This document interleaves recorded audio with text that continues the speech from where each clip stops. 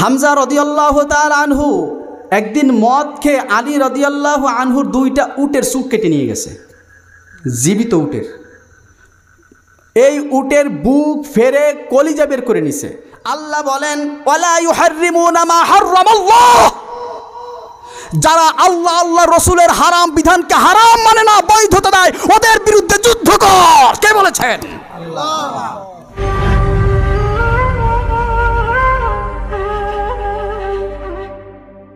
আল্লাহর নবী মোহাম্মদুর রসুল্লাহ সাল্লাহ আলিহি সাল্লাম মদিনার প্রেসিডেন্ট।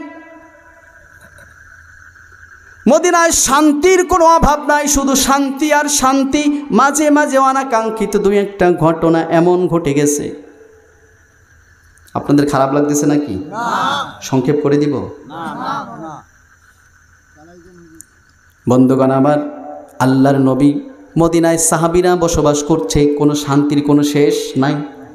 ভালোবাসা, সম্প্রীতি, সৌহার্দ্য, আন্তরিকতার কোনো অভাব, কোনো ঘাটতি কা তাদের মধ্যে নাই। এরপরেও মদ এখনও হারাম হয় নাই বলে মদ খেয়ে কিছু কিছু সাহাবি নিজেদের অজান্তে মস্তিষ্ক বিকৃত থাকার কারণে তারা এমন কিছু কাজ করে ফেলতো, পরে সারাটা জীবন তারা লজ্জিত হতো। যেমন রসুলের চাচা আমির হামজা রদিউল্লাহ তালানহু বুখারির চার হাজার তিন নম্বর হাদিস। হামজা রদিয়াল্লাহ তাল আনহু একদিন মদ খেয়ে আলী রদিয়াল্লাহ আনহুর দুইটা উটের সুখ কেটে নিয়ে গেছে। জীবিত উটের। এই উটের বুক ফেরে কলিজা বের করে নিছে। নায়িকাদের সাথে, গায়িকাদের সাথে এক জায়গায় বসে সে মদ খাইতেছে। এখনও মদ হারাম হয়।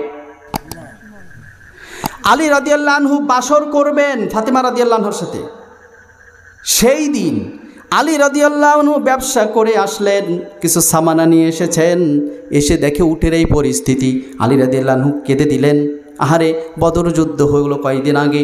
এই যুদ্ধ থেকে একটা আমি পাইলাম গনিমতের মাল আর একটা আল্লাহর নবী আমাকে ফাই থেকে উপহার দিয়েছেন। এই দুটি উট, আজকে কে এই কাজটা করল, কেঁদে ফেললেন। তাকে জানানো হলে, এটা করছে নবীর চাচা হামজা। আলী রদিয়াল্লাহু কেঁদে কেঁদে রসুলের দরবারে চলে গেলেন, ইয়া রসুল আল্লাহ আপনার চাচাজি এই কাজ করেছে। আল্লাহ রসুল চাদরটা টেনে গায়ের উপরে দিয়ে চলে গেলেন, সেখানে গিয়ে দেখেন হামজা মাতাল অবস্থায় রয়েছে।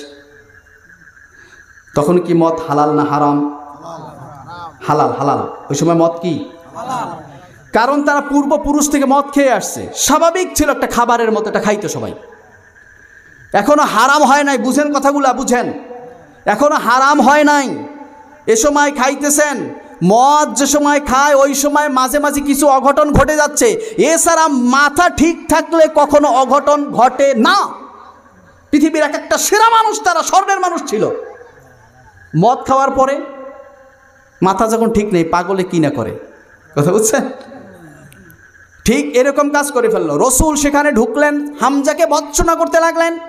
হামজা রদিয়াল্লাহ তালানহু হাদিসের মধ্যে এসেছে, আলী রদিয়াল্লাহু নিজে হাদিস খানা বর্ণনা করেছেন। তিনি বলেন, আমরা রসুলের সাথে দেখি হামজা রসুলের হাঁটুর দিকে তাকাইছে। প্রথমে নজর হাঁটুর দিক। একটু পরে টপ করে চোখ উপরের দিকে তাকাইয়া চোখ বড় বড় করে রসুলের চেহারার দিকে তাকাইয়া বলতেছে, এই কারা আসছো? তোমরা তো সব আমার বাবার গোলাম। এই বেটারা, আমার বাবার গোলাম তোরা। এরকম যদি রসুলকে বলে হামজা রাদিয়াল্লাহর মতো মানুষ, যে রসুলকে আবু জেহেল মেরেছিল বলে ইমান আনার আগেই সেই রসুল করিম সাল্লা সাল্লামের মোহব্বতে, ভালোবাসায় সেই মক্কার সেরা প্রেসিডেন্টকে গিয়া ঢকমতো ধোলাই দিয়ে মাথা ফাটাই দিছিল। বুঝেন আপনারা?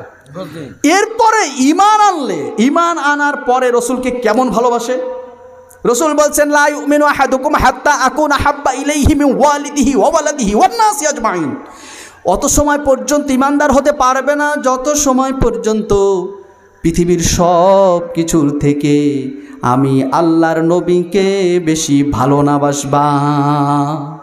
হামজা রাদিয়াল্লাহু ইমানদার ছিলেন নাকি সমস্যা ছিল ইমানে? কথাক্ষণ কথাক্ষণ কথাক্ষণ আরে এমন ইমানদার কি হয় নাকি? তাহলে রসুলকে পৃথিবীর সব কিছুর থেকে বেশি ভালোবাসতেন।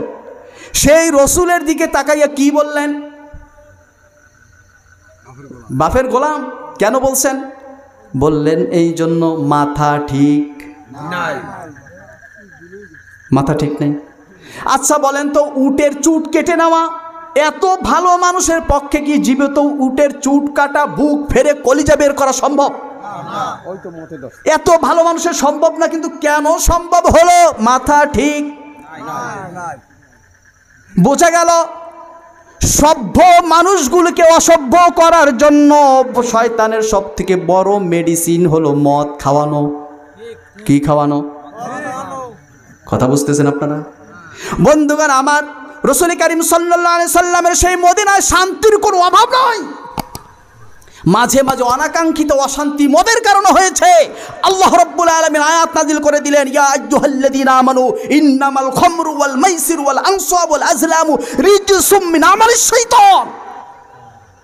মদ, জুয়া, মূর্তি পূজা, লটারি, এগুলি শয়তানের কাজ। আল্লাহ বলছেন إنما يريد الشيطان أن يوقع بينكم العداوة والبغضاء في الخمر والميسر ويصدكم عن ذكر الله وعن الصلاة فهل أنتم منتهون আল্লাহ বলছেন শোনো শয়তান চায় শয়তানের গোষ্ঠীরা চায় তোমাদের মদ খাওয়াইয়া জুয়ায় লিপ্ত করে তোমাদেরকে আল্লাহর দিন থেকে সরাতে চায়, তোমাদেরকে নামাজ থেকে বিরত রাখতে চায়, তোমাদের বেহায়াপনার দিকে তোমাদের নির্লিপ্ত করতে চায়। কারা চায় এটা? আমি বলছি সুরাম মায়েদা নব্বই একানব্বই নম্বর আয়াত খুলে দেখেন, আল্লাহ বলতেছেন, আমি শুধু অনুবাদটা শোনাইছি। তাহলে বুঝে নেবেন আপনারা অশান্তি দূর করার জন্য অনাকাঙ্ক্ষিত ঘটনাকে দূর করার জন্য ইসলাম মতকে হারাম করেছে। আমাদের দেশগুলিতে শান্তির তো অভাব নাই ওরে শান্তি! এরপরেও যদি আবার মদের মেডিসিন যদি আসে তাহলে কি হবে? বুঝেন? আমাদের সমাজটা এমন হয়েছে, আপনারা তো গ্রামে অনেকটা খবর রাখেন না। খেয়াল করুন, এদিক ওদিক যা হয় খেয়াল করুন। আপনারা তো খেয়াল করেন না, গ্রামের মানুষ অনেকটা জানেনও না, তারপরে গ্রামেও এখন শুরু হয়ে গেছে। মাথা ঠিকই আছে, পাগল হয় নাই, মদও খায় নাই এখনও মাথা ঠিক আছে, তারপরেও এমন মাথা ঠিকওয়ালা বাবা তার মেয়ের সাথে অপকর্ম করতেছে। অ্যাভেলেবেল শুরু হয়ে গেছে। শাশুড়িকে নিয়ে জামাই উধাও। শুনছেন না এগুলো আপনারা? এরকম হচ্ছে, এতেও শয়তানের গোষ্ঠীরা খুশি না খুশি না, ওরা চায় আরও হোক, অর্থাৎ মদ যদি খাওয়াতে পারে, এবার সন্তান তার নিজের মাকে গিয়ে বউর মতো ব্যবহার করতে পারবে, এতে কোনো সমস্যা হবে না। মাথা তো ঠিক নেই। কি ঠিক নেই? ও ভাই, আপনি বুঝতেছেন? এই কাজ আপনার সন্তানকে যদি মদ গেলাতে পারে, সমাজে বিশৃঙ্খলা কেমন হবে, আপনি বুঝেন? আল্লাহ বলেন যারা আল্লাহ আল্লাহ রসুলের হারাম বিধানকে হারাম মানে না, বৈধতা দেয়, ওদের বলেছেন আমি কেমন আপনাদের বলব? কয়টা আপনাদের বলব আমি?